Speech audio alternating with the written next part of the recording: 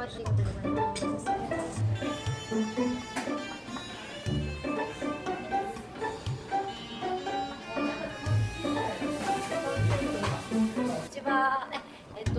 ジュースとかは自分であのなんか栽培してらっしゃる。そうですね、えー自分で作るのもあれば、はい。あとは契約した農家さんから素晴らしいですね。じゃあ自分で育てて作ってここで提供してるっていうそうですね。簡単なミントだったりハーブ類とか簡単な野菜なんかはそうです素晴らしいですね。今あの犬とか猫のボランティアやってるんですけど犬はい派か猫派かっていうのはどちらですか？僕は犬が好きでした。あ犬。はい。犬好きですね、はいあなんかやっぱ可愛いから。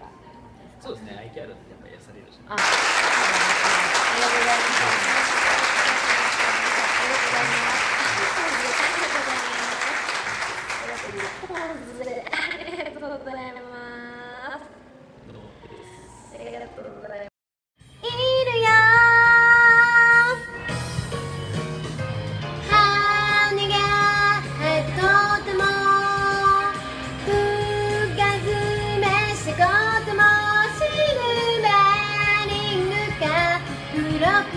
ってこと帰ってきたら話してその前にこの世がなくなっちゃって夫か？